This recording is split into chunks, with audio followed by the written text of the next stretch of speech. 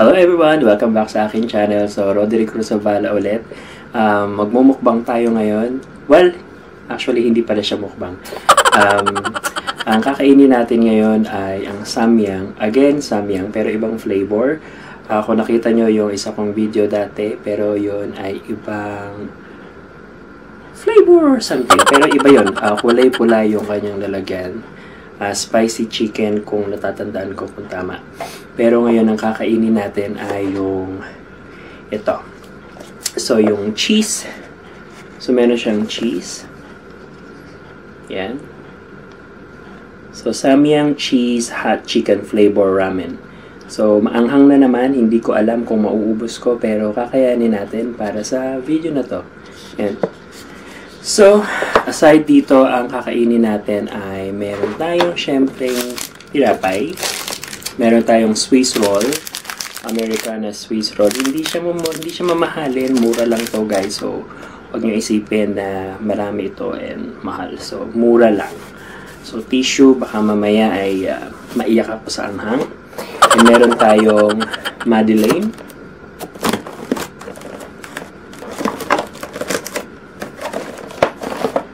Madeleine tayo mamaya. And yun. So, meron pa tayong parata. Parata. Kain tayo ng parata mamaya. Um, yun. So, kakainin natin mamaya ay ito samyang. Yun. And then, so, meron din tayong donut. Dunkin Donut. So, yeah. So, may donut.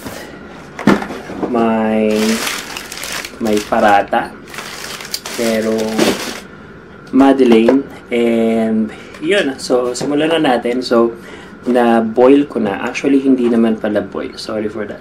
Um, kailangan nyo lang is lagyan nyo siya ng mainit na tubig. So, yung mainit na mainit na bagong kulo na tubig.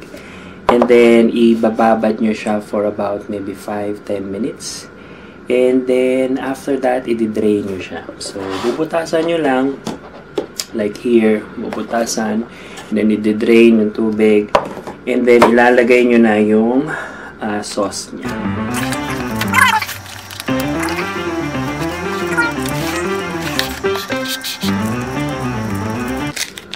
Oops. Ito yung maanghang.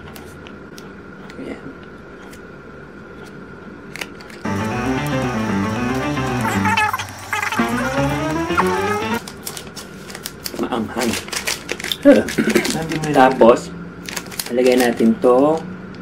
Hindi ko alam kung anong tawag dito. Cheese Chia cheese. Okay, so cheese daw sabi ng aking bebe. Cheese powder. Cheese powder daw. So, sana lalagay nyo yung cheese powder.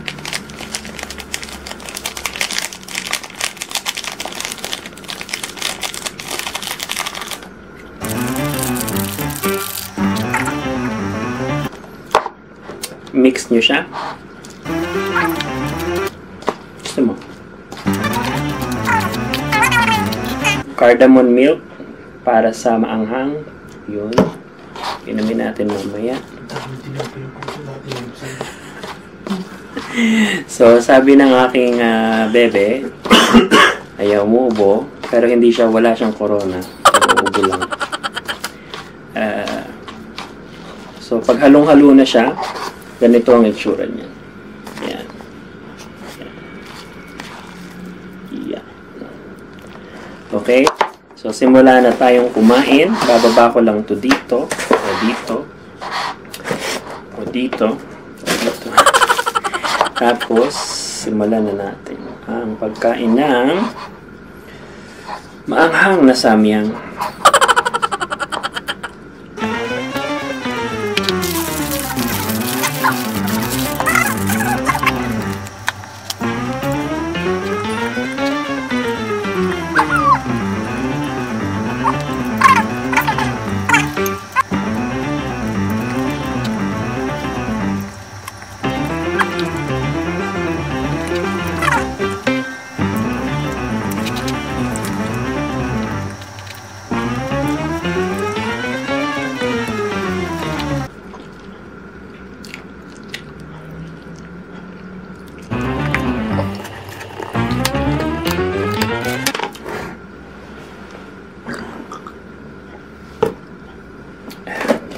Thank you.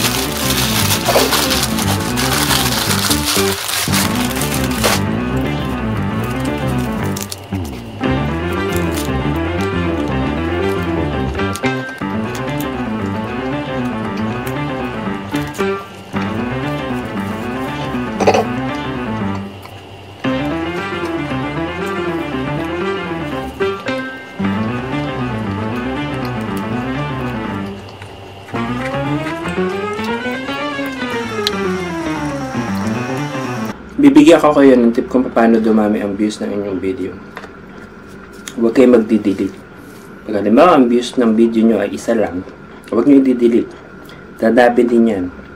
Kung ngayon ay isa yan, bukas malay nyo dalawa na ang views. Diba?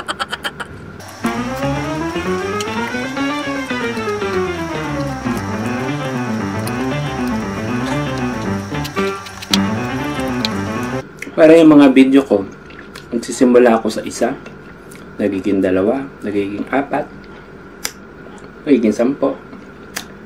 Swerte ka na pag nakaisang daan ka sa isang araw.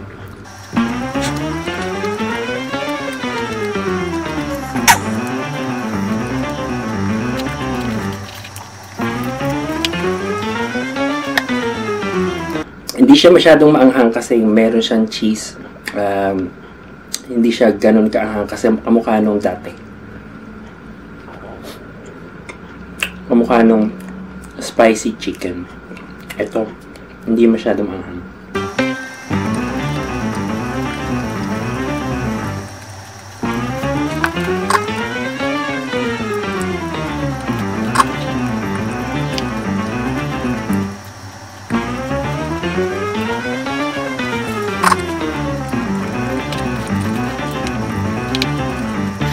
Shoutout nga pala sa aking mga whitey friends.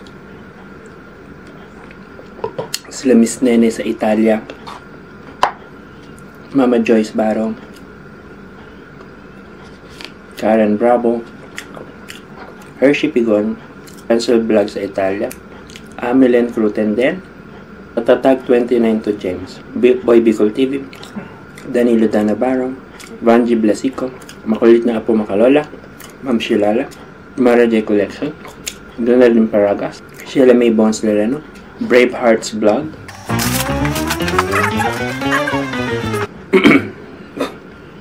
Donut,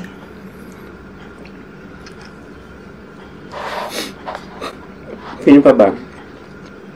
Consi TV, um, tapos, pwedeng pwede bang i-subscribe nyo yung aking mga babies?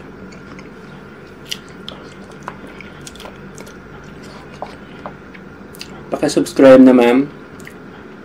Um, si She's Libra. Magaling siyang mag-makeup. Kung kayo nasa Dubai, gagawa din siya ng eyebrow, yung ano ba yun? Yung tattoo ba yun? Hindi. Um, micro something. Microblading. Microblading. Si She's Libra. Um, yung aking kapatid. Yung kapatid kong matanay. Si Carmela Sorio. mga Parkinson at mga kung ano-ano pa na video. Dahil meron siyang Parkinson. Pamangkin ko, si Joshua Sabala Manabat. Follow niyo din ako sa TikTok. Nagti-TikTok ako.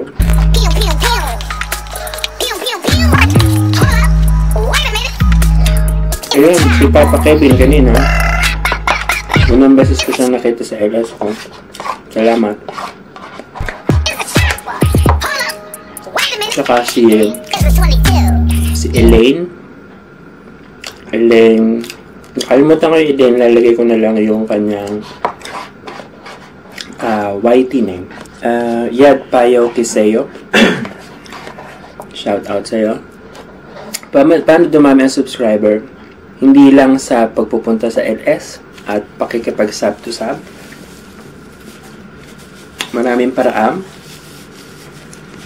Like, ako dumaan ako sa sub to sub, pero proud na masasabi ko na hindi lahat ng subscriber ko ngayon ay sub to sub. Uh, mahigit kalahati ang hindi sub to sub.